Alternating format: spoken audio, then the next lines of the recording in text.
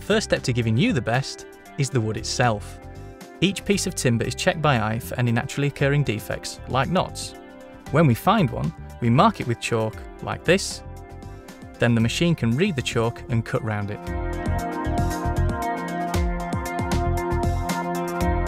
This machine profiles the ends of the timbers so they can be jointed together by hand.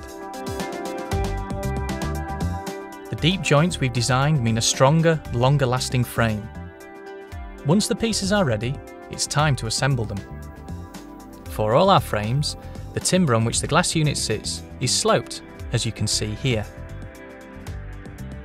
We've designed this sloping section so that any moisture will drain away and crucially dry out before it does any damage, saving you the hassle and the expense of replacing it. Your sanded down window or door now gets two coats of paint before being taken back out to the drying area. We find that nothing produces an attractive high gloss finish quite like spraying by hand. The glass pane is mounted and the beads are pinned into place.